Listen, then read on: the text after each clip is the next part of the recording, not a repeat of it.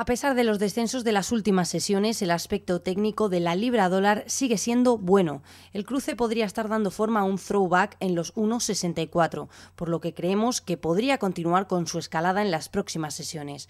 Un cierre en las próximas jornadas por encima de los máximos de comienzos de año que presenta en los 1,66 sería la señal que confirmaría la continuación de las subidas hasta el nivel de los 1,7.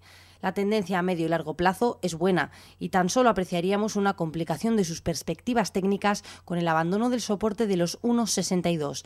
Esto anularía su movimiento alcista de corto plazo y haría pensar en una vuelta al nivel de los 1,5850, precios en los que se encuentra la media de 200 sesiones.